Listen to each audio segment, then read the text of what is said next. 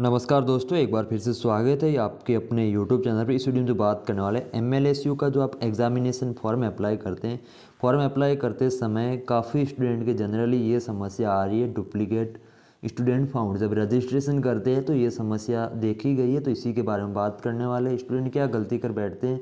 जिस वजह से ये डुप्लीकेट स्टूडेंट फाउंड जो समस्या आ रही है और साथ ही एग्जामिनेशन फॉर्म भरते समय क्या क्या आपको सावधानियाँ रखनी रहेगी, क्या क्या और समस्या जो आती है उसी के बारे में बात करने वाले। स्पेशली मैंने एक पहले वीडियो बनाया था कि एग्ज़ाम फॉर्म आप किस प्रकार से अप्लाई कर सकते हैं, लेकिन काफ़ी स्टूडेंट का ये डाउट रहता है कि डुप्लीकेट स्टूडेंट फाउंड जो स्पेशली ये आ रहा है और जो आगे और भी है जो certificate upload photo signature upload जो साइज़ के रिगार्डिंग इश्यू आ रहे हैं, और भी रोल नंबर में भी जो अपलोड या अदर यूनिवर्सिटीज़ आए तो उनका भी इश्यू आ रहा है। तो उसी के बारे में कंप्लीट डिटेल से बात करने वाला हूँ।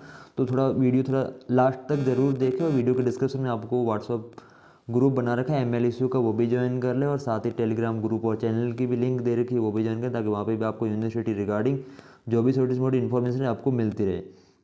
बाकी मैं ले चलता हूँ एक बार ऑफिशियल साइट पे और बताता हूँ कि किस प्रकार आप जब रजिस्ट्रेशन करते समय गलती कर बैठते तो वो आपको नहीं करनी और वापस जब ये हो गया तो फिर वापस से अपन फॉरगेट किस प्रकार से करने वाले उसकी भी बात करने वाले तो मैं ले चलता हूँ आपको ऑफिशियल साइट पर जब आप ऑफिशियल साइट पे आ जाएँगे एग्जामिनेशन फॉर्म आपने अप्लाई किया तो एग्जामिन जो आपका एग्जामिनेशन जो पोर्टल है एम एल का, उस पर आना है।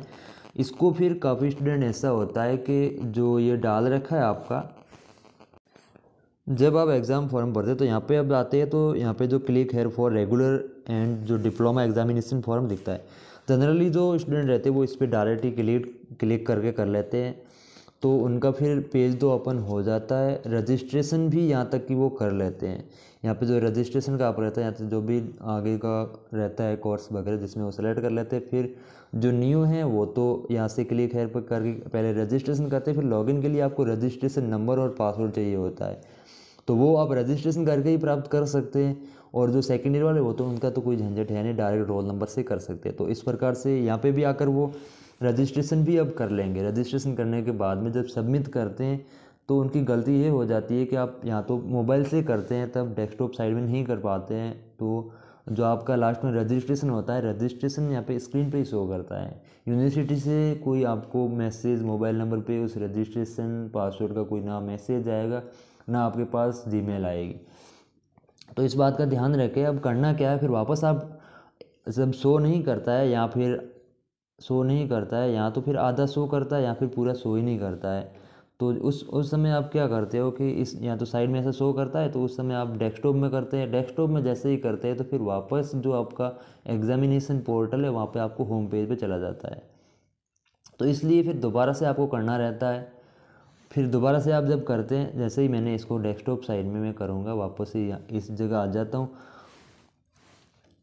जैसे कि ये मैंने किया, इसको मैंने डेस्कटॉप साइड में मैं करूँगा डेस्कटॉप साइड में करते ही डेस्कटॉप साइड में हटाऊँ या फिर डेस्कटॉप साइड में करता हूँ। फिर वापस वहाँ पे चले जाते हैं, इसलिए वहाँ पे नहीं हो पाता है। तो इसमें आप दोबारा से रजिस्ट्रेशन करेंगे, तब दोबारा से करेंगे, इस प्रकार से वापस इसी जगह पे आ जाते हैं। दोबारा से करेंगे तो फिर वही आएगा student duplicate found student duplicate found वही आने वाला है। तो इसलिए फिर उस उस केस में आपको क्या करना रहेगा? जो आपको हेल्पलाइन नंबर दे रखे हेल्पलाइन नंबर पे कांटेक्ट करके ले सकते हैं। फ़र्स्ट ऑप्शन हेल्पलाइन नंबर पर कांटेक्ट करें। सेकंड, यूनिवर्सिटी को आप मेल भेज दें कि हमने रजिस्ट्रेशन कर लिया है और पासवर्ड और जो आपके रजिस्ट्रेशन नंबर चाहिए। दो ऑप्शन ये है और थर्ड ऑप्शन आप यूनिवर्सिटी जाके भी ला सकते हो। इस प्रकार से आप कर सकते हो। ये बात रही डुप्लीकेट स्टूडेंट फाउंड की। ये करने के बाद में अब सेकंड जब इश्यू आता है, आप रोल नंबर जब उसमें फिलअप करेंगे पर्सनल डिटेल में पर्सनल डिटेल में जब आप रोल नंबर फिल करेंगे रोल नंबर फिल करते समय जो काफ़ी स्टूडेंट एम से ग्रेजुएशन नहीं कर रखी है तो उनका इश्यू रहता है कि रोल नंबर में डिजिट के साथ में अल्फ़ाबेट भी रहता है। तो उस केस में आप जब रोल नंबर लगाएँगे तो डुप्लीकेट जो last qualification roll number found इस प्रकार से आपको देखने को मिलेगा।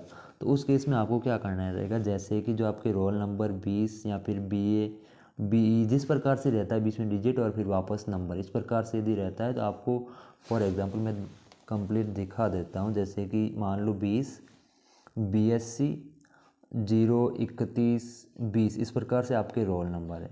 और फिर इसमें आप जब सीधा डायरेक्ट इतना ये डालोगे तब तो वो आएगा। काफ़ी यूनिवर्सिटी में ये रहता है ग्रेजुएशन लेकिन एम एल एस यू या फिर जे एन यू या फिर जो कोटा यूनिवर्सिटी उनका सीधा डायरेक्ट डिजिट में ही है। तो उनका कोई ऐसा इश्यू नहीं आएगा, लेकिन बाकी वालों का ये रहने वाला है। तो इस केस में आपको सीधा डायरेक्ट बीस, ज़ीरो, इकतीस, बीस, इस प्रकार से सीधा डायरेक्ट आपको डिजिट डिजिट ही टाइप कर लेना। उसे वो कर लेंगे तो आपका सबमिट हो जाएगा, उसके बाद में बात रहती है फ़ोटो सिग्नेचर की। फ़ोटो सिग्नेचर में इश्यू आपका साइज़ का रहता है तो साइज़ का ध्यान रखें। सौ के बी में ही रखना है, फॉर्मेट आप J P J P G या फिर जे पी जी में ही रखें, हो जाएगा वो। फ़ोटो और सिग्नेचर, साइज़ का इश्यू रखना है, बाकी कुछ नहीं। सौ के भी आप किस प्रकार से कर सकते हैं, जो सीधा गूगल पर टाइप करेंगे रिसर्च रिसर्च करने के बाद में जो आपका डॉक्यूमेंट जो करना चाहते हैं, वो अपलोड करेंगे। अपलोड करने के बाद जिस साइज़ में करना चाहते हैं, वो आपकी साइज़ हो जाएगी। और नेक्स्ट जब इश्यू रहता है, जो डॉक्यूमेंट अपलोड करते समय, जो सर्टिफिकेट की रिगार्डिंग, टीसी माइग्रेशन जिसका नहीं कर रखा है, लेकिन गैप नहीं ले रखा है, फिर भी गैप सर्टिफिकेट मांग रहा है तो उसमें क्या करना रहेगा? मैंने कंप्लीट एक डिटेल से वीडियो बनाकर अपलोड कर लिया था, वो आप चैनल पे जो विज़िट करें कंप्लीट यदि आपके पास समय है तो वो देख लें। बाकी मैंने तो जो डुप्लीकेट स्टूडेंट फाउंड को लेकर काफ़ी कमेंट आ रहे थे, इसलिए मैंने ये वीडियो स्पेशली बना दिया। बाकी मिलते हैं फिर नेक्स्ट वीडियो में, तब तक जय हिंद, जय भारत।